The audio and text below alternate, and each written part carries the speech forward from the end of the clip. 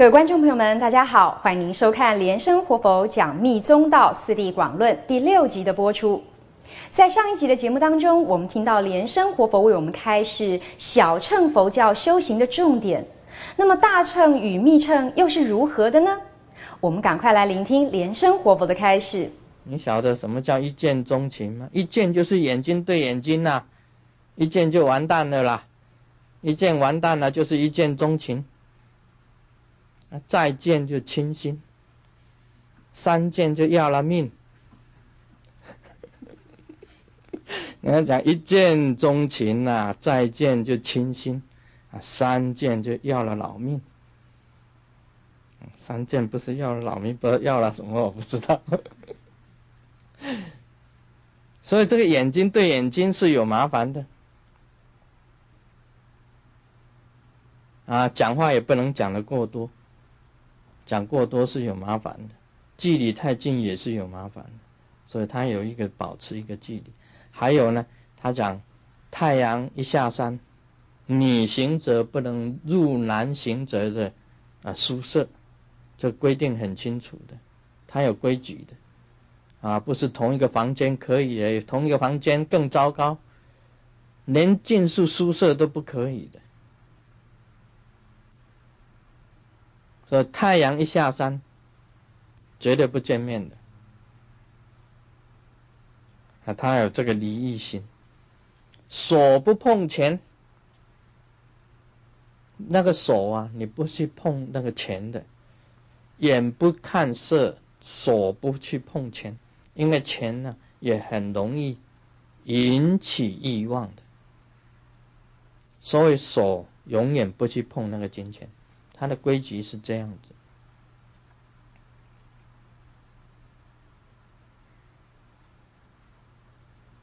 所以这个离异行不是很简单可以修的。小乘佛教，你看他，哦，这是一般人啊，这修的啊，一般智慧的修的，那是要守戒，守戒守的很严。这是小圣。那么宗主啊，这宗哥巴他讲的，以圣解下来者说离异行，这个就是离异行这是小圣。眼不着色，手不碰钱，住有范围，在总间距。衣着睡衣呀，这个就是睡衣啊，不是睡衣啊，不是睡觉的衣服啊，是污秽的啊，秽衣，应该念成秽衣，就是不是很好看的衣服。食不过午，卧不倒单，还有呢，卧不倒单，坐着睡。因为你躺着睡啊，太舒服了，不是修行。你坐着睡，时时警醒自己，不落入这个梦幻的陷阱，保持清醒的一种睡眠，不捣蛋。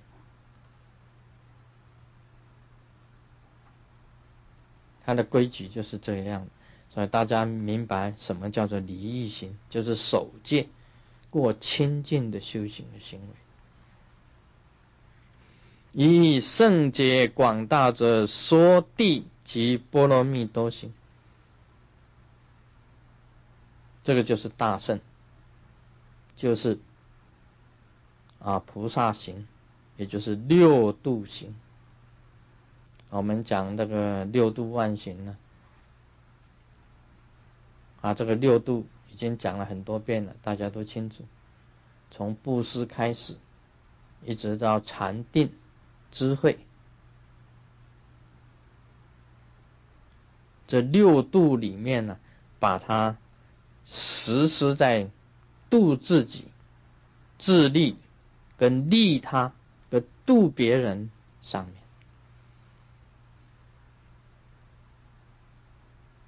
这个就是波罗蜜，就是六波罗蜜。所谓波罗蜜的意思啊，已经讲了，就是到达彼岸，到彼岸的行，到彼岸的方法，这个就是六度法，就是菩萨行。大圣都是要行这六度菩萨行的。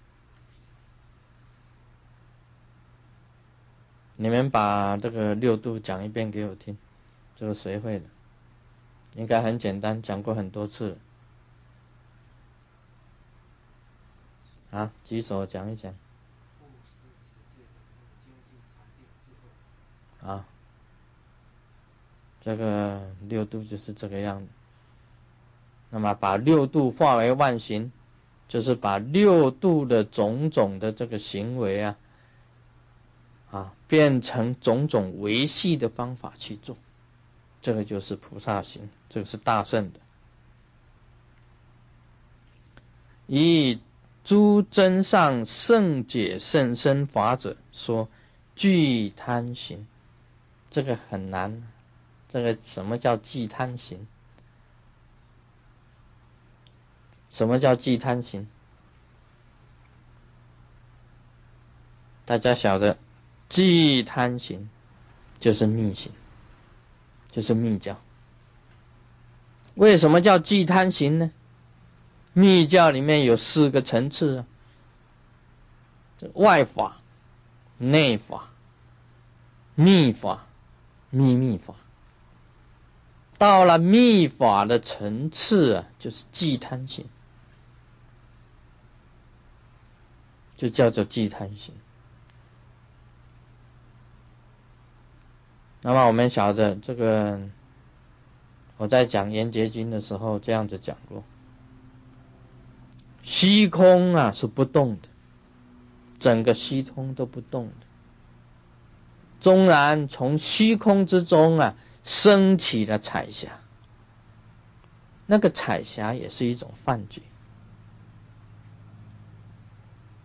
无论如何，虚空是不受污染，也就是讲，佛性啊是不受污染的。众生的佛性从来没有被污染过。你现在目前的形象不过是一个幻身，身体的身，一个幻现出来的身子。你不过是佛性当中的一片彩霞而已。无论这个彩霞形成怎么样子的颜色，你能够深解义谛啊，了解佛法最深的义谛的时候，你才能够行即贪行。因为你任何在那个状况，任何的一种行为里面呢。你都是属于清净的，这个叫做密行。所以具贪行呢，就是密行。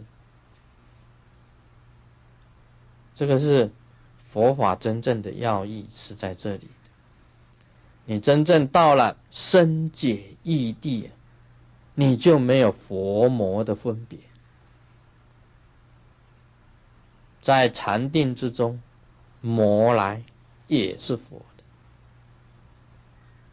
佛来也是魔的，这世界上众说纷纭，种种的形象，原来皆是幻，原来都是清净，也都是光明的，也就是具有最高的、最深的这个佛性在里面的。你可以把种种的行为。啊，超越过去而化成光明的这一种行，叫做寂贪行，就是密行。所以修行密教是最高深的，也就是讲以诸真上圣解甚深法者说寂贪行，就是密行，就是密教。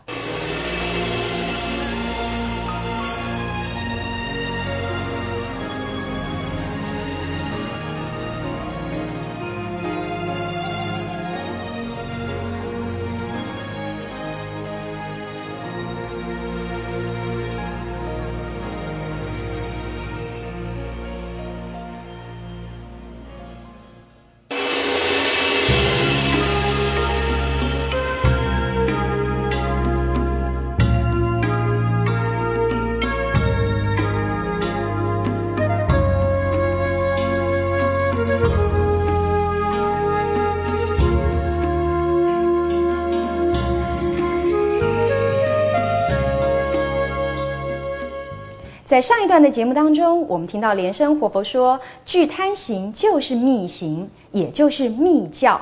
到底什么是具贪行？具贪行要具备哪些修行的条件呢？我们赶快来聆听莲生活佛的开示。那么在《圆觉经》里面讲到大圆满的时候，他也是这样子说的：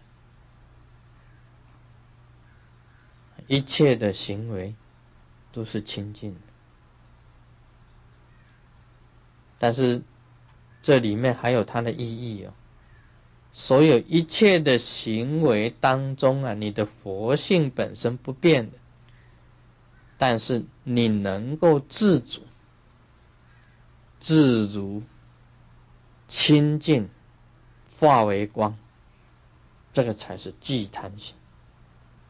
假如你的佛性不变，但是你种种的形象，种种现出种种的形，你不能自主、自如、自治，这样子的话，你就成为凡夫。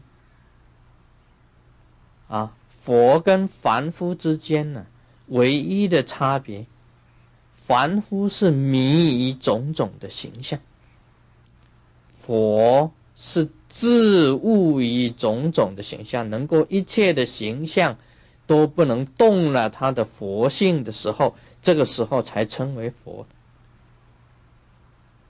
所以你能够了解这个深解异地的佛，佛跟凡夫之间呢，一个是觉者，一个是觉悟的，一个是迷者，是迷惑的。所以能够自主的，就称为觉者。被迷惑而颠倒的，就称为凡夫，其差别就是这样子而已。什么叫做寂贪行呢？以佛性用凡夫的种种的形象来自主，化为光明跟超越的。就是祭叹心。这一段解释啊，我刚才所讲的这一段解释，不是很明白佛性啊，不是很明白密教的人，他讲不出来的，他没有办法讲，讲不出来的，因为佛跟凡夫之间的界限他不明白，佛行的是凡夫的事。这个时候啊，佛啊，如来，他的一切作为跟凡夫是一样的。佛行凡夫的事，但是他以超越跟化为光明、变化清净来自主的，这个叫做寂贪行。今天能够把这个。宗哥把祖师的这个“寂贪行”三个字能够讲解的那么清楚的，这世界上很少，在这世界上已经很少，大部分讲解一看到“寂贪行”，哎，什么叫做“寂贪行”？他不晓得。啊，你们看今天看师尊，看看师尊呢。表现的行为跟凡夫差不多，但是你要知道啊，这个师尊本身能够超越的，能够自主的，能够自如的，能够化为光明的，这个就是凡夫佛啊，凡夫的行为当中显现的佛性。在凡夫的行为当中显现的佛性的，就是凡夫佛。这个就是我，就是卢胜彦。你看我的师父啊，这个图灯达尔吉上师啊，他给我起的法号叫做图灯自如。什么是图灯啊？兔灯。兔啊，吐出来的吐，登这个登上去的登，自如自在如如，图灯的意思就是释迦。图灯两个字啊，就是释迦，释迦牟尼佛。自如就是释迦佛陀，自由自在，如如不动。这个就是图灯自如的意思。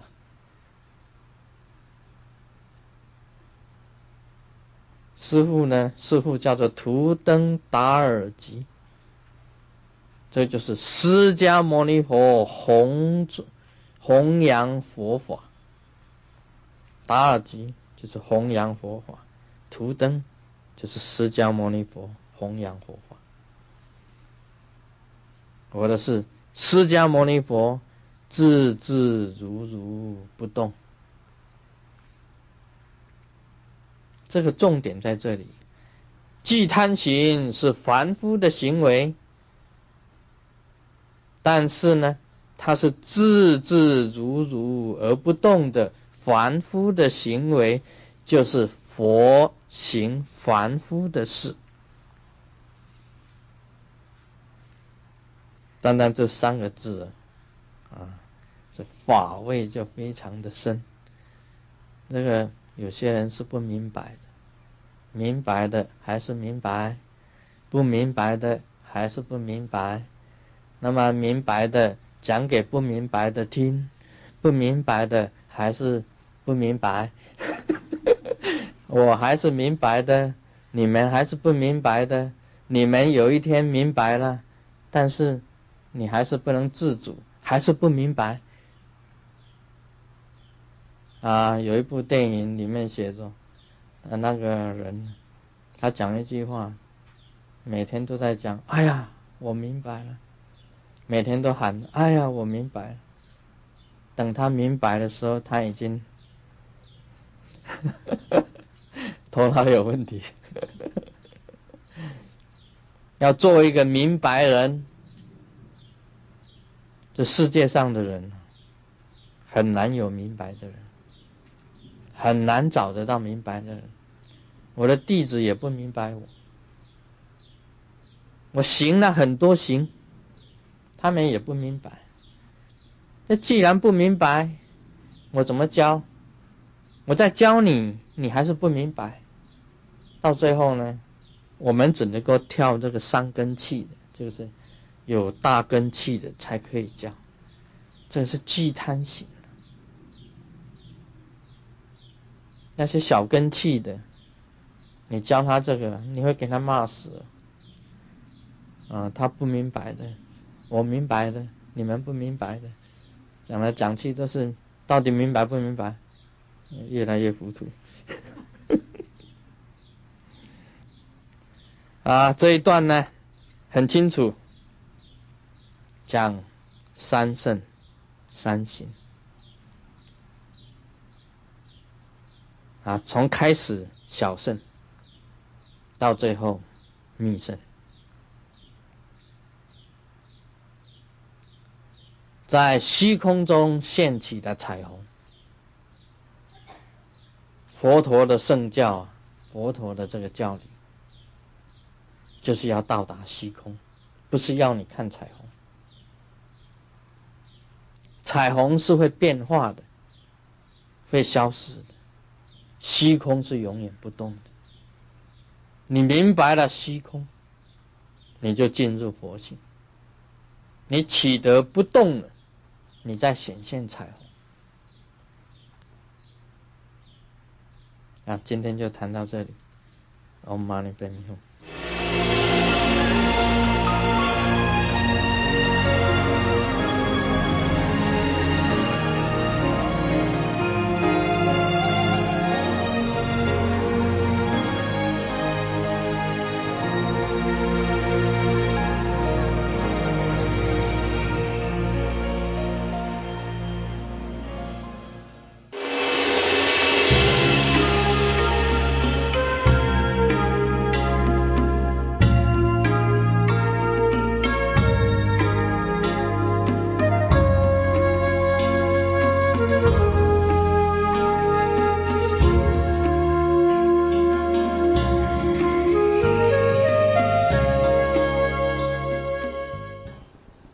生活佛在这一集节目当中的开示呢，谈到了三乘，也就是小乘、大乘，还有密乘。而密乘呢，又被称为金刚乘，为什么呢？接下来我们就特别邀请到赤莲月金刚上师来到节目当中，我们来向他请教。我们欢迎赤莲月金刚上师，上师您好，主持人好，各位观众朋友大家好。请教上师，为什么又叫做金刚秤呢？啊，是的，其实密秤与金刚乘都代表着非常殊胜、不可思议的意涵。所谓密乘的密呢，其实它代表着。不可思议，为什么不可思议呢？我们在上一节的节目中，我们分享到，其实密教的渊源呢，是来自于法身大日如来内证的三昧，所以内证本身呢，就是一个非常不可思议的境界。所以呢，在这个境界当中呢，连十地菩萨都没有办法测知这个境界，所以称之为密，不可思议。而金刚乘的金刚呢，代表心性的坚固不坏。那么我们都知道，金刚呢象征着坚固。但是什么东西是最坚固的呢？一切物质的东西，不管再怎么样坚硬，都还是会有成住坏空。所以什么是最坚固的呢？莲生活佛说，最坚固的就是不动、不坏、不乱的本心。所以金刚秤，也就是代表着我们将我们世俗凡夫的那种起伏变化的心，如实的修到不动不坏不乱的真实的佛性。所以呢，这就是金刚秤的意涵。而密乘里面呢，讲到这是大日如来内证三昧的哈一个真实的境界。所以在密宗里面呢。就特别强调内证，也就是实修。没有实修，就无法内证。那么，一个密宗的行者进入的这个法门之后呢，最重要的，我们要内证我们的身口意。密教的修行呢，就是将我们世俗凡夫的身口意转化为本尊。的身口意，所以当我们在转化的这个过程当中呢，我们自心的体会其实是清清楚楚、明明白白的。这个就是密。我们这个密呀，这个法味啊，的确啊，不是能够跟很多人来分享的。就好像我们这杯柳丁汁，我们一定要亲自的来喝它一口，而这个味道呢，其实是。在我们内心里面清清楚楚、明明白白的，所以密教的行者很重视身口意的修行，将三业转成三密。所以在刚皈依的行者啊，我在做皈依灌顶的时候，我就会跟大家说：我说呢，我们一个行者啊，我们一定要让我们自己保持在一个身口意清净的状态。什么是身呢？身就是我们所做的一切的行为，也就是我们要最起码我们要守戒，守着我们一个行者应该有的戒律。而口呢，就是我们说的每一句话；而意呢，就是我们的起心动念，这就是意念。那么我们呢，虽然刚皈依，我们不可能啊，马上皈依就成为一个圆满的成就者。我们的身口意还是会有过失的，但是呢，我们一个行者跟世俗凡夫有什么不同呢？世俗凡夫常常处在我们自己身口意的过失当中，但是他的身口意的过失还是没有办法去转化，还是没有办法真正的啊去体认到自己的身口意的过失。没有办法察觉的，而我们一个行者，虽然我们的身口意还是会有过失，但是呢，我们会很敏锐的察觉，并且我们在这个察觉的过程当中呢，我们不断的祈请根本上师，祈请佛菩萨的加持啊，来灌顶我们，让我们的身口意保持在一种清净而圆满的状态，这就是行者。所以密教重视的是实践。而金刚圣的因缘呢，是在七世纪啊，这个金刚智菩萨他依着龙树菩萨所传下来的《金刚顶经》所绘制的啊一个曼陀罗。所以呢，从这个因缘当中呢，密教也就开始称为金刚僧了。哇，是这个是连月金刚上师的分享是非常非常深入而且精辟的。我相信这个观众朋友在看的时候呢，很可能会很想要笔记，而且呢，连生活佛的开示呢，也是让我们觉得呢，很想要一再的去咀嚼，一再的去回味。这个我们制作单位特别精心制作的这一本。密宗道次第广论修行笔记呢，两样都可以满足大家。你们想要做笔记的，里面可以让大家做笔记，而且连生活佛开示密宗道次第广论的实录也在里面。打电话进来就要免费的送给大家。今天的节目进行到这里，非常感恩所有观众朋友您今天的收看，同时非常感谢世莲月金刚上师来到节目当中所做的分享。这个礼拜六的同一时间，请大家不要忘了继续收看连生活佛讲六祖坛经。阿弥陀佛。